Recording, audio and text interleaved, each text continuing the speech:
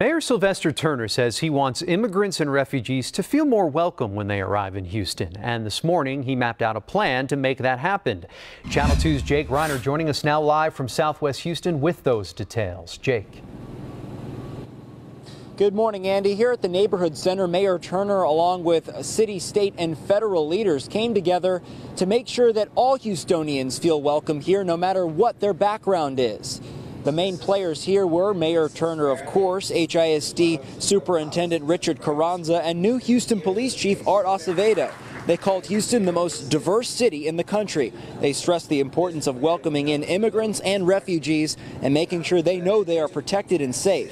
Mayor Turner made a point to reference the controversial and contentious 2016 election. Take a listen.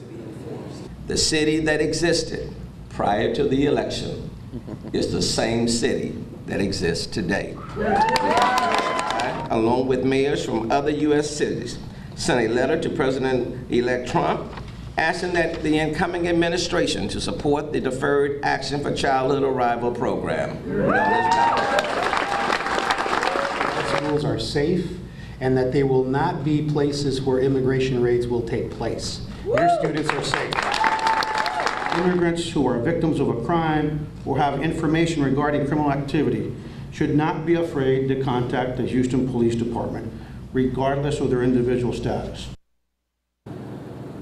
Now, Mayor Turner said he also created the Office of New Americans as a resource for refugees and immigrants to feel more comfortable and also report hate crimes when they occur. In Southwest Houston, I'm Jake Reiner, KPRC Channel 2 News.